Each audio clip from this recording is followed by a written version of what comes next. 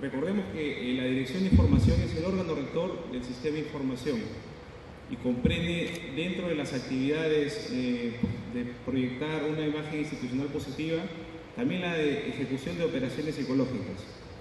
La ejecución de operaciones psicológicas debe estar orientada no solamente al desarrollo de actividades o acciones eh, psicológicas y guerra psicológica, sino también se soporta sobre el, conjunto de actividades de prensa, las actividades de relaciones públicas, las actividades de protocolo, las actividades de comunicación digital, las actividades de difusión y todas las que correspondan o estén orientadas a la comunicación social.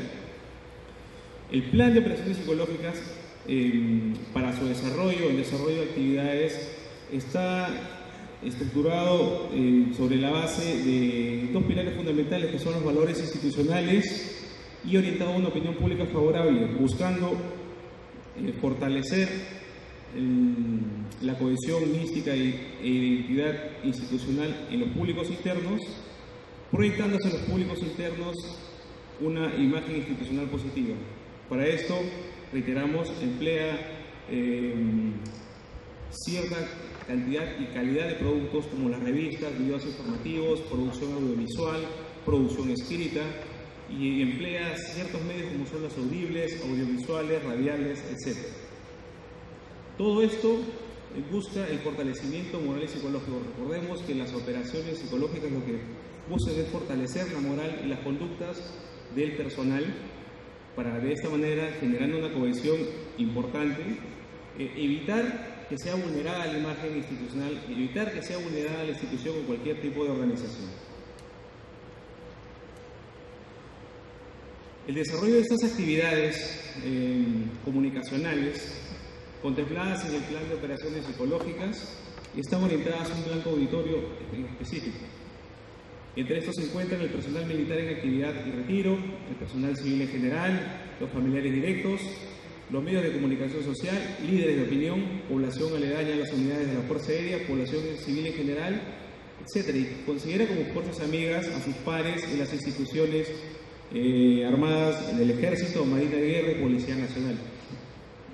Podemos ver en las imágenes que la participación de las actividades de información de la Dirección de Información se da no solamente a través de eh, la prensa escrita, sino también a través de los eh, medios radiales, a través del desarrollo de actividades aerodeportivas, a través de actividades de integración y de cohesión con el personal PAC.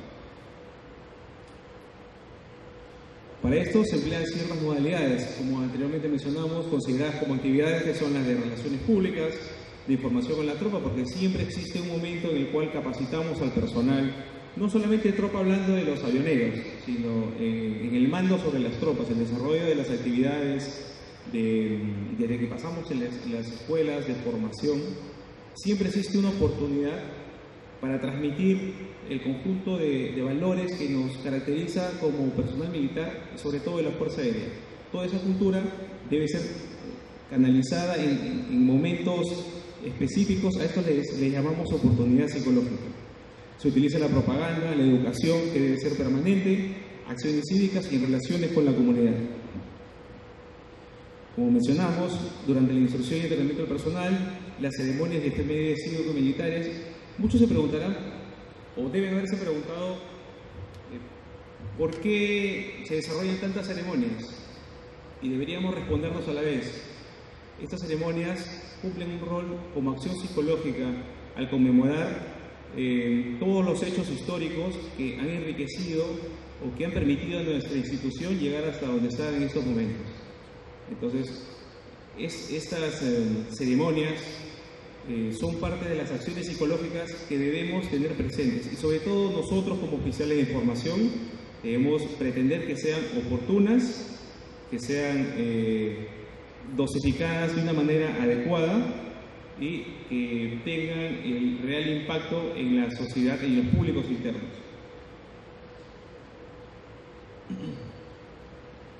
Podemos ver que no solo se limita al desarrollo de ceremonias eh, militares, castrenses, sino también en la, intención del fortalecimiento de las relaciones cívico-militares podemos desarrollar como comunicadores o como oficiales de información cumpliendo el rol actividades como los flash u otras actividades que nos permiten interactuar con la sociedad civil, que en realidad deberíamos sacar ese cliché de sociedad civil porque todos somos una sociedad.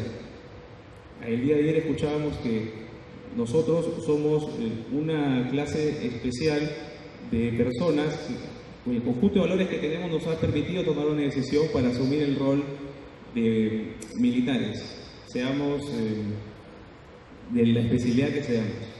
Todos somos militares, todos cumplimos un rol y eso tenemos que tenerlo presente. Dentro de los medios para las operaciones psicológicas tenemos los audibles, los audiovisuales y eh, empleamos también el uso de redes sociales en estos tiempos. No solamente son cuñas radiales, eh, notas periodísticas, reportajes, tenemos que aprovechar todo, todo el, conjunto de, herramientas que se presentan en la tecnología actual para poder transmitir mensajes, porque la comunicación es eso, es transmitir mensajes. Tenemos que buscar causar el mejor efecto en ellos. Em, a esto, esto es importante mencionarlo porque el desarrollo del, del el desarrollo cotidiano del misionamiento de la dirección de información es ejecutar operaciones psicológicas. Pero si no tenemos, no tenemos algunos criterios presentes como qué, qué medios emplean, a qué públicos estamos dirigidos, qué tipo de plan tenemos, no vamos a poder entender cuál es el rol o la función que vamos a cumplir en nuestras oficinas de información. Porque debemos no solamente ser oficiales de información, porque la información como datos eh, es eso, datos. No debemos, no debemos eh, mantener una posición pasiva respecto a la transmisión de información. Debemos eh, tomar una postura como comunicadores, en el rol que nos corresponda, en el momento que tengamos el cargo la función de oficiales de información, nuestro rol es comunicar, no es informar, es comunicar. Y la comunicación es un proceso bidireccional. Siempre requiere la transmisión de un mensaje bien codificado y requiere una retroalimentación. No está solamente en mostrar lo que queremos informar, no es una mera transmisión de datos. Nosotros, como oficiales de información, en el momento que nos corresponda, debemos buscar el efecto final y debemos tener eh, los criterios para saber cómo, cómo aplicarlos. Por eso les, les hablamos de las operaciones psicológicas que buscan fortalecer la moral o la conducta del público interno buscando un efecto ulterior. Dicho esto, eh, entramos a un breve concepto de lo que podría ser la comunicación estratégica. Y te podemos eh, comenzar a preguntarnos para qué comunicar y cuál es nuestro propósito. Entonces, vamos a respondernos que comunicar es un hecho natural que va adquiriendo un potencial muy grande para generar cambios sociales debido a su capacidad de generar nuevos sentidos, nuevas miradas sobre el mundo distintas de las que hasta ahora se vienen conociendo.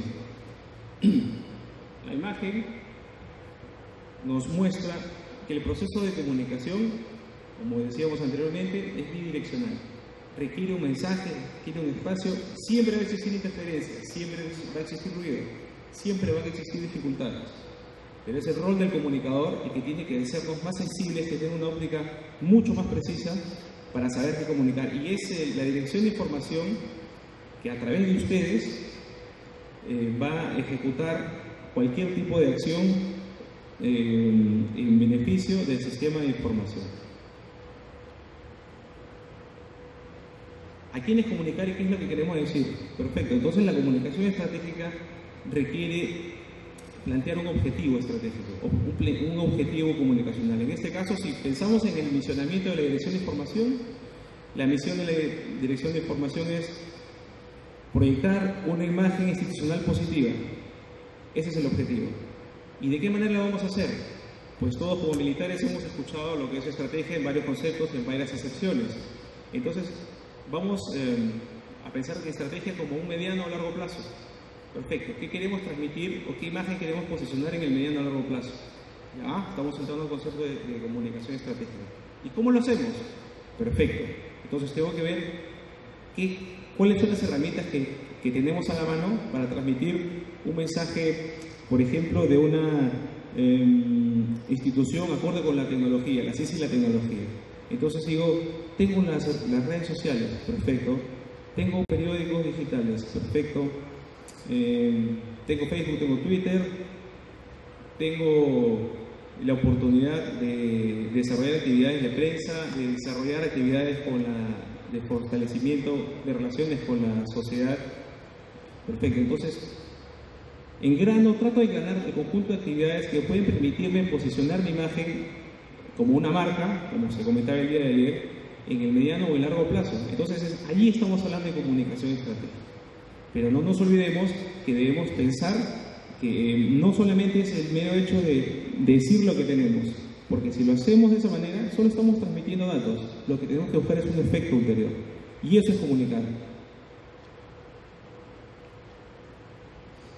Como mencionábamos, se pueden desarrollar estrategias no solamente en el empleo de nuevas tecnologías de información y comunicación, se emplean también a través de alianzas estratégicas. El día de ayer conversábamos en el seminario con el jefe de Relaciones Institucionales de Telefónica y él nos contaba que se había logrado establecer una alianza estratégica con la Fuerza Aérea para desarrollar una serie de actividades. Alianzas estratégicas también son parte de la comunicación estratégica, porque todo está orientado a un objetivo principal, es fortalecer la imagen de la institución. Entonces, toda actividad que coadyuve al fortalecimiento de la imagen institucional, al posicionamiento de la institución, al empleo de sus eh, recursos eh, de una manera adecuada y oportuna, como oportunidad de información, está considerado como un rol de oficial de información dentro del sistema de información.